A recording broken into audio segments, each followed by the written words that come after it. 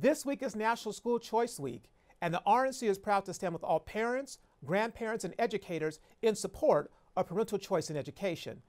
We believe parents should have the opportunity to access the very best educational options for their children, no matter their color, zip code, or socioeconomic background. School choice means giving you the right to choose how your child is educated. You know your children, and you know what is best. Now more than ever, we can see how important school choice is. Democrats keep pushing mandates, school closures, and critical race theory, which divides our children.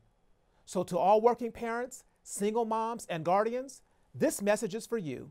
Republicans hear you, we value you, and we stand with you because despite what liberals may say, your voice matters.